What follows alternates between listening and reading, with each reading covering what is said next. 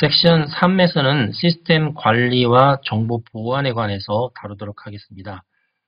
어, 정보처리 기사 또 산업기사 어, 실기편이 개정이 되면서 많이 강조된 부분이 이 부분입니다. 그래서 어, 상당히 많은 신조어들이 나오고 있고요. 그래서 그 용어에 관한 설명을 물어보는 질문이 나올 수도 있고 또 이게 이제 시스템 관리이기 때문에 관리에 관한 여러 가지 상황들을 묻는 또 구체적인 질문들이 나올 수가 있습니다. 그래서 용어 이해뿐만이 아니라 때에 따라서는 그 업무의 내용도 어, 절차나 과정들도 이해하실 필요가 있을 것 같습니다. 중요한 부분들을 알아보도록 하겠습니다. 먼저 AE라고 되어 있습니다. Authentication 음, Exchange라고 되어 있죠. 그래서 인증 교환이라고 번역을 했는데 그 사용자 신분을 인증하는 과정을 수행하려면 그 인증 정보를 이제 교환을 해야 됩니다. 주고 받아야 되는데 이게 노출되면 안 되죠. 그래서 어, 암호 방식을 사용하거나 그 메시지 인증 코드를 주로 많이 사용을 하게 됩니다. 그래서 이제 메시지 인증 코드를 사용할 경우는 메시지의 이제 그 순서 번호가 어, 올바로 도착했는지 확인하는 그런 내용들도 가지고 있습니다. 자, anti debugging이라는 게 있습니다. 디버깅을 하지 못하도록 하는 기술이죠. 자, 이 디버깅을 할 경우에 프로그램의 기능을 거꾸로 추적하거나 내지는 이제 변조할 수 있기 때문에 예, 이것을 못하도록 하는 게 anti debugging이고요. 어, 특히 이제 역공학, reverse engineering이라는데 역공학에서 이 소프트웨어 저작권 침해를 예방하기 위해서 이런 anti debugging 기술을 사용을 하고 있습니다. 어, 역공학에 대한 설명 옆에 잠깐 나와 있죠. 어, 이미 제작해서 배포되어 있는 시스템을 거꾸로 추적해서 원본 문서나 소스 코드나 알고리즘이나 이런 기술들을 거꾸로 유출하는 그런 기술을 역공학이라고 하고요. 어, 원래는 이제 소프트웨어 유지 보수하는 과정에서 나왔고 또 지적재산권을 불법으로 침해하는 음, 기술로 악용이 될 수 있기 때문에 이 역공학에 이제 대비한 기술이 이 엔티티 버깅 중에 하나라고 볼 수가 있습니다. 자, APT 공격은 음, 신기술에서 설명을 하고 있는데 Advanced Persistent Threat라고 어, 이야기를 했습니다. 전산 영어에도 나옵니다. 지능형 타깃 지속 공격이라고 되어 있고요. 어, 여러 가지 IT 기술하고 해킹 방법들을 이제 종합적으로 활용해서 특정한 타깃에 관해서 꾸준히 해킹을 하는 겁니다. 그래서 이제 이루어지는 과정들을 보면 다음과 같습니다.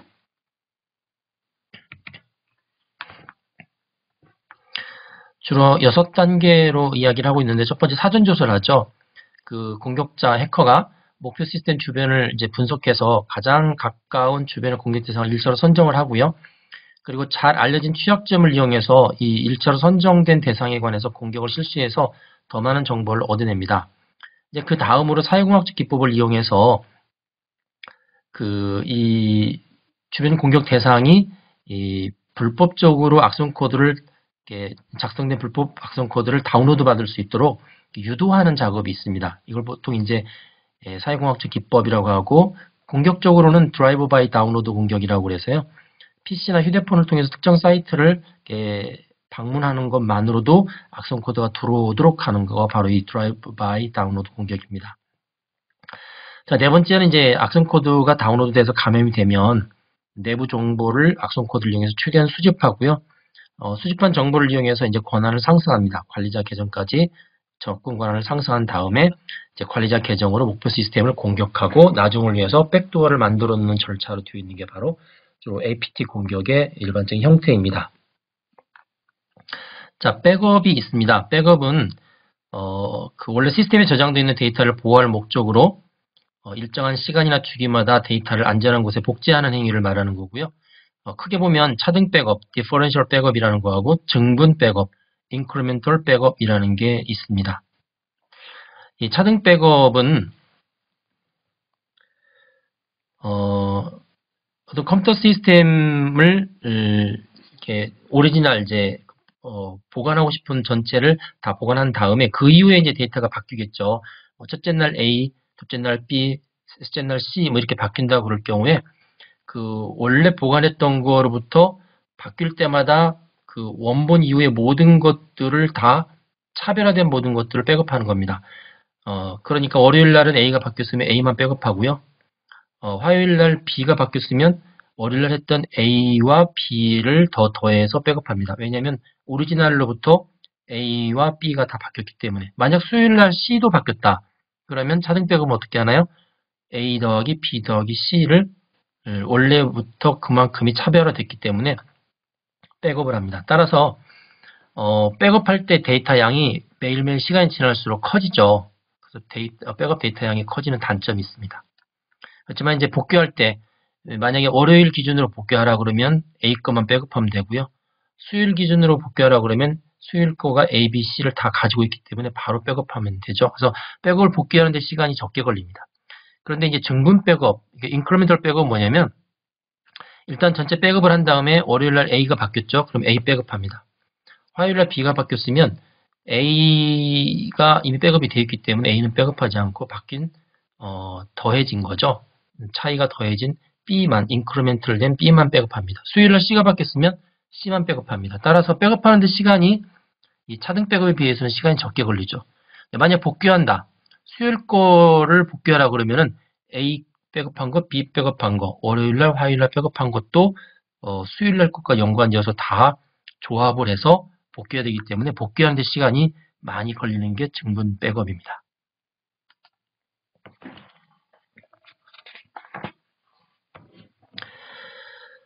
자, 빅데이터에 대한 이야기가 많이 나옵니다. 요즘 이제 4차 산업혁명 가운데서 가장 큰 키워드를 또 형성하고 있는 게 빅데이터인데, 어, 말 그대로 데이터가 굉장히 많이 생기는 거죠. 그리고 방대하게 생기고 또 생기는 주기도 빠르고 그래서 개별적으로 처리하기 굉장히 힘든 방대한 데이터를 말하는데 이걸 잘 분석하면 이 데이터를 생성하는 어떤 시스템이나 사람이나 어떤 사람들의 문화 양식을 예측할 수 있는 또 그런 데이터여서 아주 큰 상업적 가치를 가지고 있습니다. 그래서 수많은 사람들의 행동 패턴들을 데이터가 이제 제공해 주기 때문에 그거를 분석해서 사람들에 맞는 새로운 비즈니스 모델을 창출하는데 그렇게 분석하다 보니까 그 안에 있는 작은 데이터 안에 개인정보들이 들어있죠. 그래서 개인정보를 식별할 수 없도록 하는 그 개인정보 비식별화 조처가 반드시 피해 있어야 됩니다. 그래야 개인정보가 유출되지 않죠. 이 개인정보 비식별화 조치는 대표적으로 한 다섯 가지가 있는데 첫 번째는 가명 처리죠. 어, 실제 개인정보의 실제 값을 음, 이제 다른 이름으로 실제로 홍길동인데 뭐 김계동 이렇게 바꾼다든지 다른 불가능한 값으로 대체하는 거고요. 두 번째는 총계 처리. 개별 데이터가 어, 뭐 1, 2, 3, 4, 5 나오, 나와 있는 거지만 그렇게 개별 데이터를 보여주지 않고 전체를 더한 값을 어, 이거의 합은 뭐 30이다 이렇게 총계만 보여주는 거죠. 전부 30개가 있다, 뭐 20명이 있다 이렇게 보여주는 거고. 그다음에 세 번째는 데이터를 삭제합니다. 개인 데이터를 에, 삭제하고 개인 데이터가 아닌 것들만 보여주는 방법이 있고요. 네 번째는 범주화인데 그 데이터가 속해 있는 범위만 보여주는 거죠. 보, 여주는 거죠. 예를 들어 25살이면 뭐 20대 이렇게 범주화돼서 보여주는 겁니다. 자, masking은 음, 데이터 위치를 별표 별표 별표로 가리는 것을 masking이라고 합니다. 그래서 이런 그 개인정보 비식별화 조치에 의해서 빅데이터를 잘 활용할 수 있도록 하는 거고요. 자, 블록체인이라는 게 있습니다. 요즘 이제 비트코인하고 연관돼서 많이 나오는 건데, 이 블록체인은 사실 2009년도인가요? 어, 그 일본 사람 사토시 나카모토라는 사람이 논문을 써서 실제로 비트코인으로 구현했던 건데 뭐 이렇게 볼 수 있습니다. 자, 은행에서 금융 거래할 때 금융 거래했던 그 기록이 어디에 가 있나요? 은행에 저장돼 있죠. 은행 서버에 저장돼 있고 따라서 은행은 그 서버에 기록되어 있는 그 금융 기록을 정말 중요하게 보완을 합니다. 그게 없어지면 큰일 나죠. 그걸 유변조하게 되면 사람들의 모든 예금 잔고가 다 달라지죠.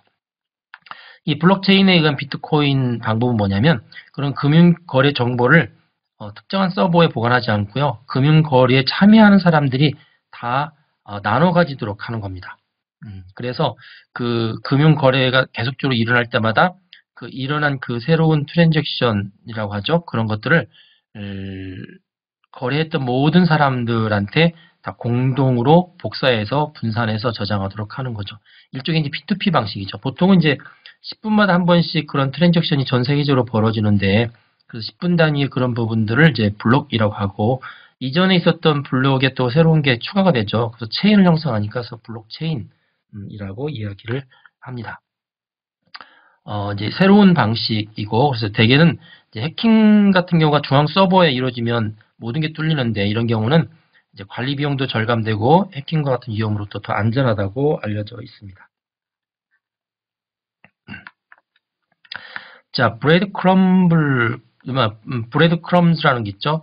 이 crumb이라는 게 예, 빵 부스러기를 crumb이라고 하는데 브레, 브레드 크럼은 빵 부스러기들인데 그 동화의 헨젤과 그레텔에 보면은 이제 헨젤 그레텔이 예, 자기들이 이제 숲속으로 끌려갈 때 자취를 남겨놓기 위해서 빵 부스러기를 이렇게 떨어뜨려 놓죠. 그래서 그 빵 부스러기를 통해 찾아올 수 있도록 하는 그런 어, 그 동화 이야기가 나오는데 여기서 나온 용어입니다. 사용자가 그 인터넷과 컴퓨터상에서 파일을 찾을 때 얼마나 복잡한 경로를 찾습니까? 어, 찾는데 이제 그런 복잡한 경로를 어, 사람들이 잘 찾을 수 있도록 시각적이고 체계적으로 보여주는 일종의 이제 그래픽 인터페이스를 브레드 클럼즈라고 이야기를 합니다. 자, C4I라는 게 있습니다. C4라는 이야기는 C가 4개라는 뜻입니다. C, C, 그 다음에 I. 그래서 여기 보시면 Command, Control, Communication, Computer and Intelligence의 약자가 C4I입니다. 우리나라 군에서 전체 어떤 시스템을 이 컴퓨터 네트워크와 활용하고 또 어, 여기 무기 체계나 지휘 관리 체계를 통합한 거를 이 C4I라고 하고요. 그래서 이, 이 위에가 이제 command가 지휘, control이 통제, communication이 통신, computer가 컴퓨터죠. intelligence가 어, 보통 정보. 그래서 어, 우리 군에서는 보통 전술 지휘 통제 자동화 체계 이렇게 번역을 하는데 이런 합동 지휘 통제 체제하에 있는 음, 그런 이제 IT를 활용한 통합 음, 자동화 체제라고 말할 수가 있습니다.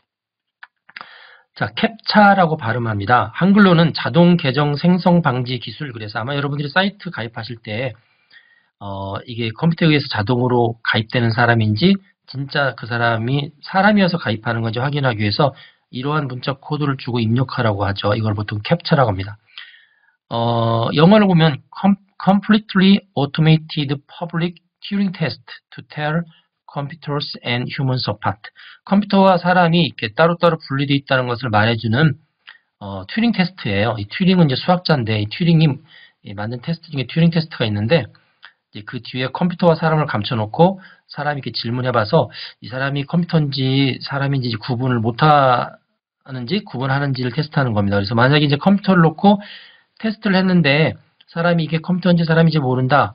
그러면 이제 그 컴퓨터는 거의 사람과 같은 존재라고 할 수 있어서 요즘 이제 인공지능에서 이 컴퓨터가 인공지능 역할을 하는지 안 하는지 테스트하는 것을 튜링 테스트라고 합니다. 어, 완전하게 자동화된 음, 공적인 튜링 테스트의 약자죠. 그래서 이게 사람인지 아니면 컴퓨터에 의한 이제 가입인지 이런 것을 구분할 수 있도록 한 게 이 캡차이고요. 일종의 인증 방식이죠.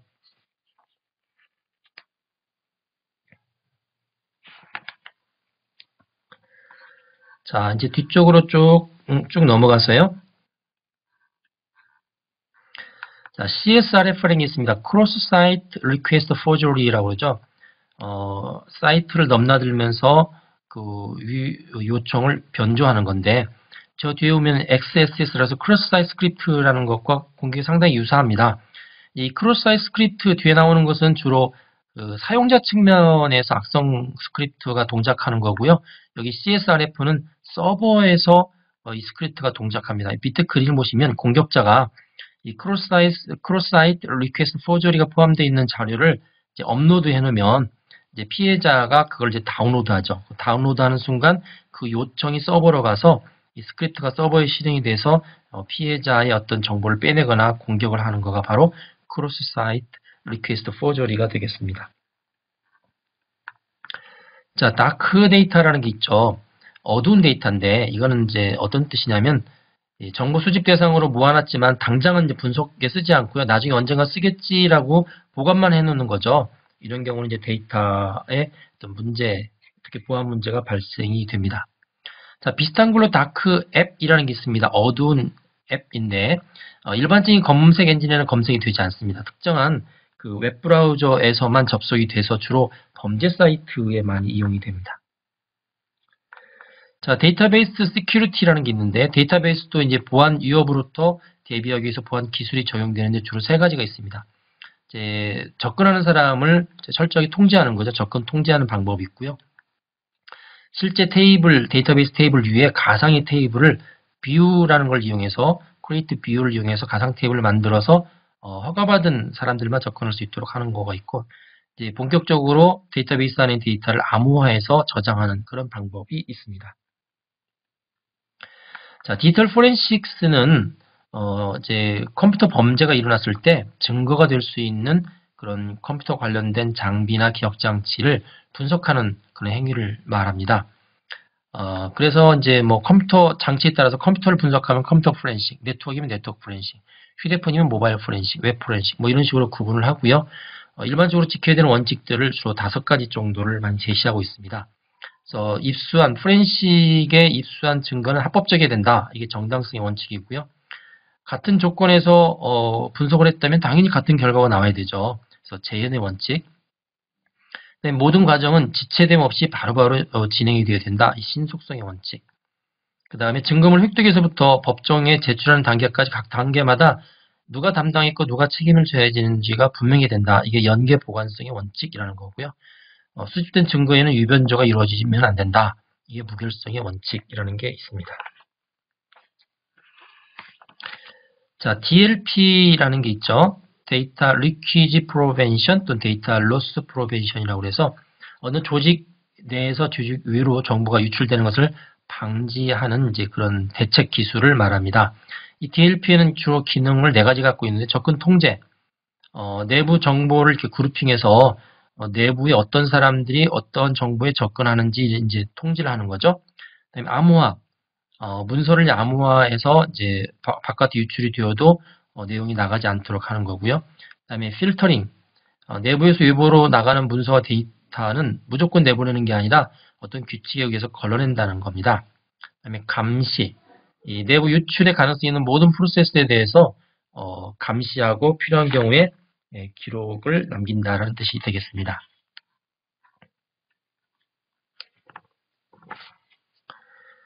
자, 뒤쪽에 가시면은 이제 exploit이라는 게 있습니다.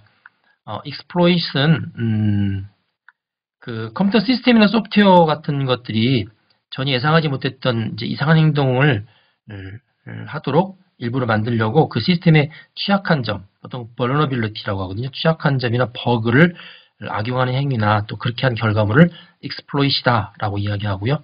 뭐 DoS라든지 뭐 이런 것들이 다 악성 코드 이게 다 exploit의 한 형태로 어, 볼 수가 있습니다. 자, 하둡이라는 게 있습니다.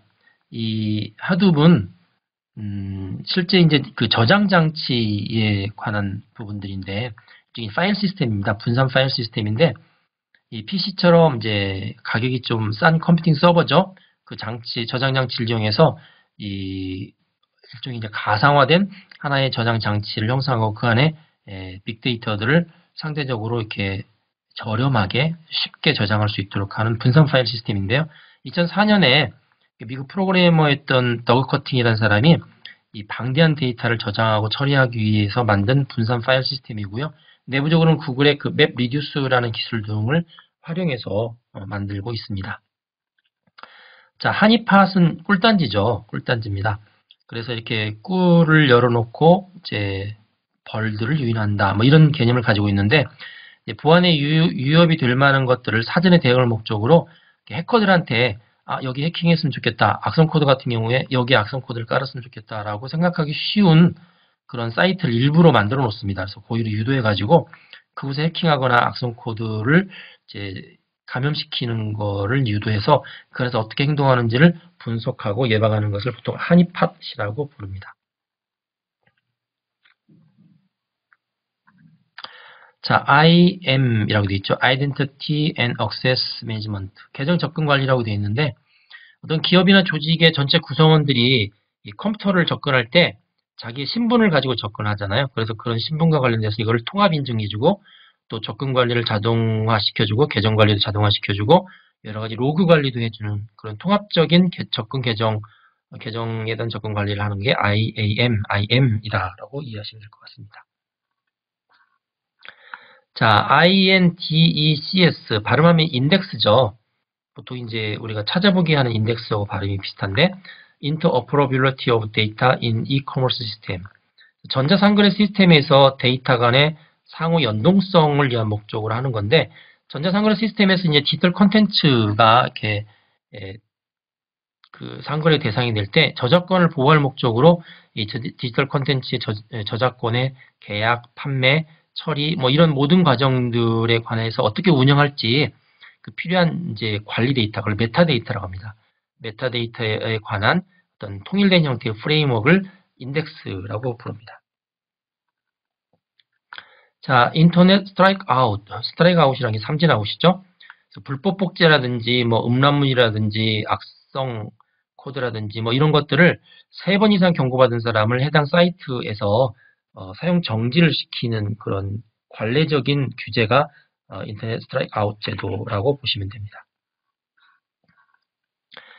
자, ISMS 정보보호 관리체제 영어로는 Information Security Management System인데 회사처럼 큰 조직에 있는 정보자산을 주먹구구시로 관리하는 게 아니고요. 체계적으로 신뢰성 있게 정보보호 활동을 지속적으로 하는 운영관리체제를 ISMS라고 하고요. 자, 우리나라 같은 경우는 2002년부터 도입을 했고 이게 전 세계적인 추세입니다. 그래서 국제적으로는 ISO 27001이 우리나라, 우리나라의 ISMS에 해당되고 영국은 BS77991, 독일은 BSI에 해당이 되고 있고요. 어, 흔히 말해서 보통 어, CIA라고 하죠. 정보자산의 기밀성, 무결성, 가용성을 달성할 수 있도록 어, 떤 위험이 닥칠 경우에 어떻게 그거에 대해서 예비로 예방을 하고 또 그 일이 벌어졌을 때 어떻게 사후 처리냐 하는 과정들을 쭉 시나리오를 작성해서 실제로 운영하도록 하는 게 ISMS가 되겠습니다. 자, kill switch는 이제 스마트폰을 잃어버렸을 때 그 안에 개인정보가 많이 들어가 있죠. 어, 개인정보를 유출하지 못하도록 하기 위해서 원격으로 원래 주인이 기기를 정동, 정지시키는 기능을 이제 kill switch라고 이야기를 합니다.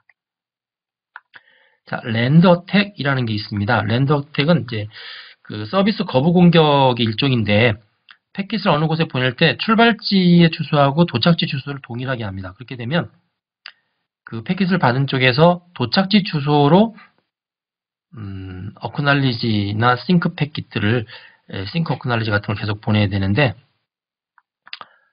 어, 그게 바로 자기 자신이죠. 동일하게 했기 때문에 그래서 자기 자신한테 계속 보내서 loop, looping에 빠져서 결국 서비스 거부 상태가 되도록 만드는 게 LAND attack이라고 보시면 됩니다. LEA라는 게 있습니다. LEA, Lightweight Encryption Algorithm인데 이건 우리나라의 국가보안기술연구소에서 개발한 블록 암호 기술입니다. 세계 표준인 AES보다 두 배 정도 속도가 빠르고 코드 크기도 작고 전력 소모량도 줄일 수 있는 것으로 알려져 있는 국산 어, 암호 기술입니다. 자, MC Finder에서 MC는 malicious code입니다. 악성 코드를 찾아내는 거죠. 악성 코드가 설치되어 있는 웹사이트들을 자동으로 찾아서 어, 대응을 하는 음, 그런 자동 탐지 프로그램을 MC 파인더라고 하고요. MOTP는 OTP가 일회용 음, 어, 비밀번호를 해주는 시스템인데 M, 앞에 M이 붙었습니다. 모바일. 그래서 그 모바일 기기, 휴대폰과 같은 모바일 기기에서 일회용 암호를 생성해주는 기술을 MOTP라고 어, 부릅니다.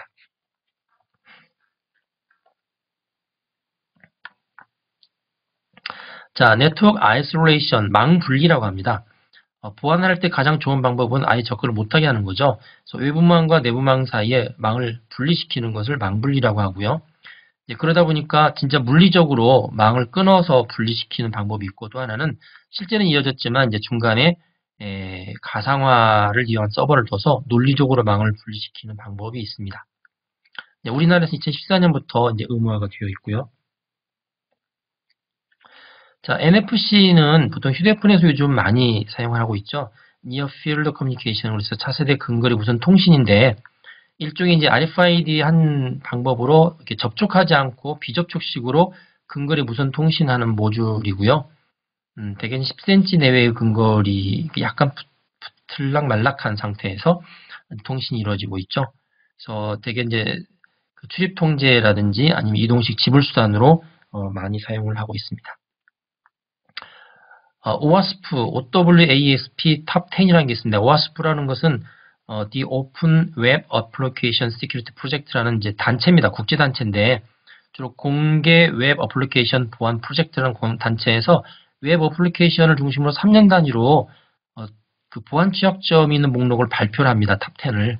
그래서 이 Top 10이 이제 주요 어, 보안 이슈가 아, 되는 거겠죠. 자, PET는 Privacy Enhancing Technology, 프라이버시 강화 기술이라고 되어 있는데요. 그 사용자의 개인정보를 최소화, 노출을 최소화하면서 다양한 인터넷 서비스를 개인이 이용할 수 있도록하는 개인을 위한 정보보호 기술을 말하고요. 사용자 등록을 할 때도 개인정보를 최소화할 수 있도록 익명 인증 기술 같은 것도 이 안에서 제공해주고 있습니다. 자, PIMS라는 게 있습니다. Personal Information Management System, 개인정보 보호 관리 체계라고 되어 있죠. 어, 그래서 그 고객의 개인정보를 다루는 기업에서 고객의 개인정보를 안전하게 다룰 수 있도록 구축한 체계를 말하고요. 정부에서 그 각 기업의 이 PIMS에 관해서 어, 인증 체제를 하고 있습니다. 그래서 이게 세계 분야 119개의 점검 항목을 두어서 그 기업이 예, 고객의 개인정보를 잘 다루고 있는지 점검을 하죠. 그래서 이거를 PIMS, 여기 알파벳이 바뀌었는데 PIMS, PIMS 인증제라고 이야기를 합니다. 자, Ping of Death라는 게 있습니다. 인터넷 명령 중에 ping이 있죠. 어떤 사이트로부터 패킷을 보내서 살았는지 죽었는지 acknowledge를 받는 이제 그런 명령인데 ping을 통해서 이 ICMP 패킷을 보냅니다. 근데 정상보다 큰 패킷을 보내게 되면 routing을 거치는 동안에 이게 작은 조각들로 분해가 돼서 전송이 되거든요. 그러니까 아주 짧은 시간에 ICMP 패킷들을 많이 만들게 되는 효과가 있어서 결국은 어, 한 인터넷 서버가 다운되는 일종의 서비스 거부 공격의 일종으로 보내는 게 Ping of Death다라고 보시면 될 것 같습니다. 자, 랜섬웨어가 있습니다. ransom 이게 몸값이라는 뜻이고요. 웨어는 이제 보통 소프트웨어인데 컴퓨터 안에 있는 문서나 무슨 이미지 파일이나 이런 것들을 원래 소유자의 동의 없이 다 암호화시켜서 감춰버립니다. 그리고 그 암호를 풀려면 돈을 내라, 몸값을 내라 이렇게 하는 거죠. 이제 그런 그 랜섬웨어에 걸리지 않으려면 어, 중요한 게 이제 예방인데 여기 보시면 한 7가지가 나와 있습니다. 1, 2, 3은 어, 예방하기 위해서 해야 될 것, 4, 5, 6, 7은 하지 말아야 될 것 이렇게 했는데 예를 들면 이런 거죠. 잘 백업해 놓으면 됩니다. 그래서 랜섬웨어에 걸려서도 백업해 놓은 게 있으면 다시 복귀하면 되는 거죠. 그 다음에 그런 랜섬웨어를 잡아주는 안티바이러스를 설치하면 되고요. 꾸준히 보안 업데이트를 하고 하지 말아야 될 것은 정말 알지 못하는 사이트 방문하면 안 되고요. 단축 URL을 함부로 누르면 안 되고요. 함부로 다운로드 받으면 안 되고요. 주로 악성 스크립트가 동작이 되는 경우가 많이 있기 때문에 윈도우 스크립트를 비활성화시키는 거, 첨부 파일을 함부로 열지 않는 거, 이런 부정적인, 그러니까 금지하는 항목도 역시 잘 지켜줘야 됩니다.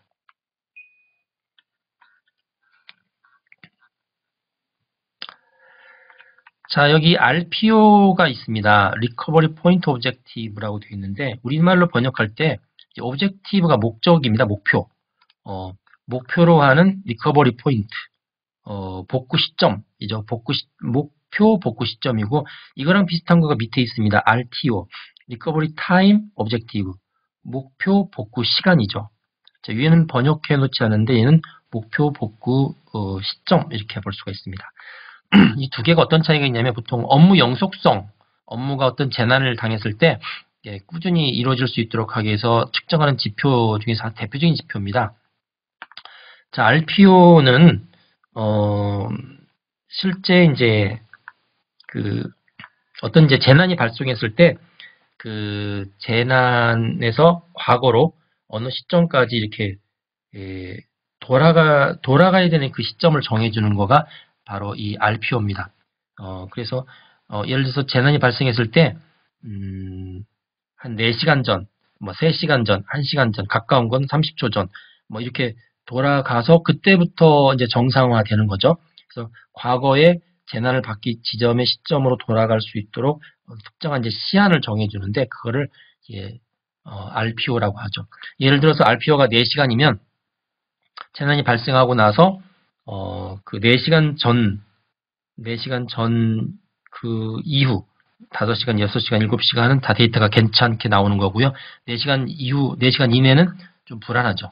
그래서 이 RPO 타임은 가급적 재난이 발생한 시점부터 그 짧은 쪽으로 짧은 시간이 있을수록 훨씬 재난으로부터 복구하는 능력이 뛰어나다 이렇게 평가할 수 있고요. 그 다음에 RTO는 뭐냐면 재난이 이제 발생을 했을 때 에, 어느 정도 시간이 지나면 복구가 될, 되겠죠.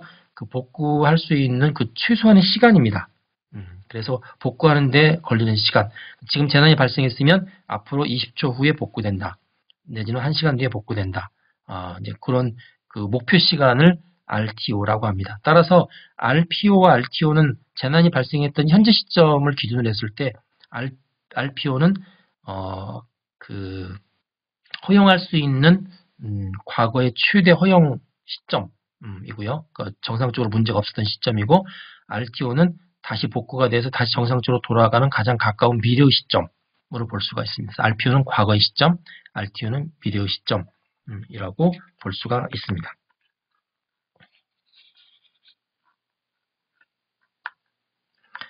자, 스플로거가 있는데 이거는 이제 불법으로 광고물이나 음란물을 배포하는 광고성 블로거를 어, splogger라고 이야기하고요. spoofing이란 말을 많이 씁니다. spoof, spoof라는 게 보통 어, 뭐 가장하다, 패러디하다 이런 뜻인데 어, 떤 시스템에 접근할 때 IP 주소를 이렇게 변조하죠. 변조해서 나중에 IP 주소 추적할 때 에, 추적이 되지 않도록 변조하는 것을 보통 spoofing이라고 이야기합니다. 자, Stuxnet이라는 게 있는 이게 일종의 악성 코드 일종인데요. 독일 지멘스사가 그 원격으로 원자력 발전소나 무슨 가스관이나 이런 것들을 원격 제어할 수 있는 그 시스템으로 SCADA라는 것을 이제 만들었는데 이 SCADA의 제어 소프트에 침입해서 실제 원격지에 있는 모든 것들을 악성 그 감염시킬 수 있는 악성 코드를 Stuxnet이라고 이야기합니다. 자, switch jamming이라고 되어 있죠. 네트워크 스위치 장비에 있는 주소 테이블의 용량을 넘치게 해가지고 네트워크 스위치 장비의 기능을 잃어버리죠. 그래서 접수한 트래픽을 어, 특정한 장소로 보낸 게 아니라 전부 다 막 broadcasting 하게 한다든지 그래서 갑자기 트래픽들이 많아지게 하는 것이 바로 어, switch jamming이고요.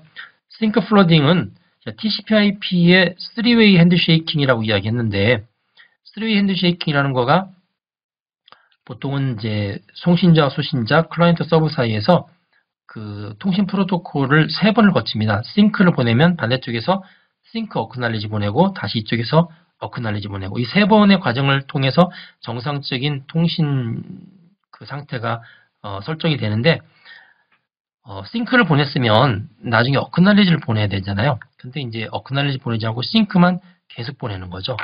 어, 이제 그런 경우에 이제 sync가 홍수가 난다. 그래서 sync flooding이라고 합니다. 그림을 보시면 자, 해커가 피해자한테 sync만 계속 보내죠.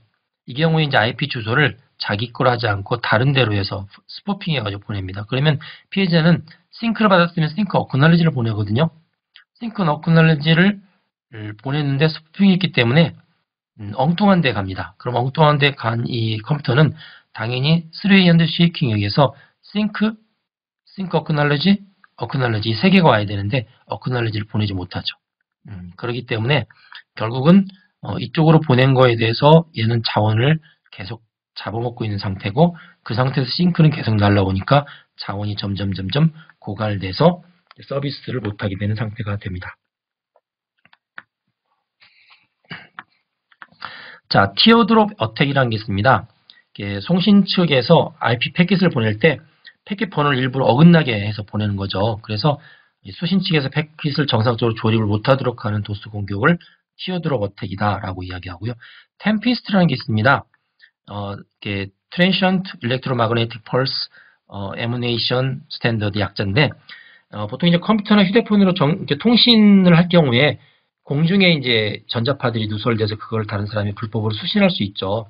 그래서 이제 이런 불법 수신을 막는 거가 바로 템피스트라고 어, 보시면 될 것 같습니다.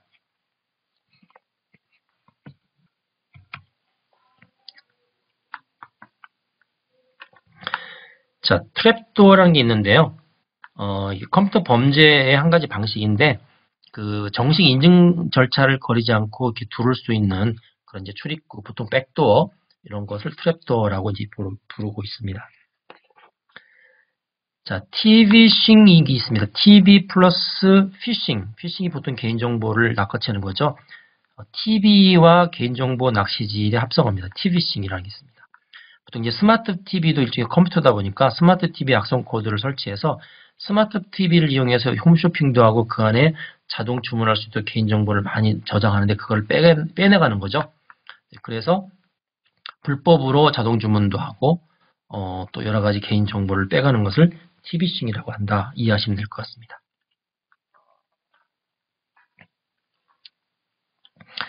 자, 웹이라는 게 있습니다. WEP, Wired Equivalence, Equivalent Privacy가 있고요. 얘하고 어, 쌍벽을 이루는 게 예, WPA라는 게 있습니다. Wi-Fi Protected Access. 자, 둘 다 그 무선 랜에서 그 보안 문제와 프라이버시를 침해하기 위해서 이렇게 기술을 더 도입한 건데요. WEP가 나왔는데 이게 이제 그 1997년에 제정되어 있는데 예, 암호 문제가 있다고 그래서 이제 이 부분이 요즘 이제 많이 쓰고 있지 않고 WPA로 많이 바뀌었습니다. Wi-Fi Protected Access. WPA2도 나왔고요. 그래서 어, 주로 무선랜에서 어, 보안을 강화시킨 프라이버시 침해를 예방하기 위한 거가 WEP. 그걸 개선한 게 WPA다. 라고 이해하시면 될 것 같습니다. 자, cross site scripting이 나왔죠.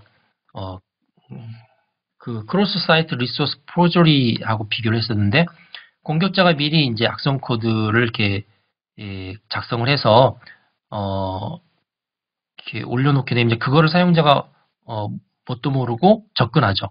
접근하면 이제 이 악성 코드 그 cross site script가 사용자 측에서 실행이 돼서 어, 피해를 보게 되는 그런 공격 중의 하나입니다. 어, 그래서 이제 이거에 의해서 피해자의 쿠키가 전달되거나 아니면 뭐 악성 코드 사이트로 강제로 이동되거나 그렇게 되는데 그림을 보시면 이렇습니다. 서버에 cross site script를 업로드를 해놓은 해커가 그러면 이제 예, 피해자가 모르고 접근을 하죠. 그 script가 전송이 되면 어, 사용자의 웹브라우저 상에서 cross site script가 실행이 되고 그래서 그 결과에 의해서 쿠키가 나가거나 음, 아니면 사용자의 웹브라우저가 어, 악성 코드 사이트로 강제로 이동하거나 어, 그렇게 이야기가 전, 진전이 됩니다.